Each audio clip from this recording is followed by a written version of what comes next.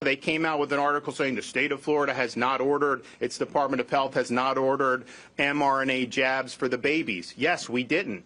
We recommend against it. We are not going to have any programs where we're trying to jab six-month-old babies with mRNA. We're following the data. You look at these European countries, uh, they are uh, a lot of them don't even allow Moderna for under age 30, or they recommend against it. So that was always that. We still have not ordered it. We're not going to order it.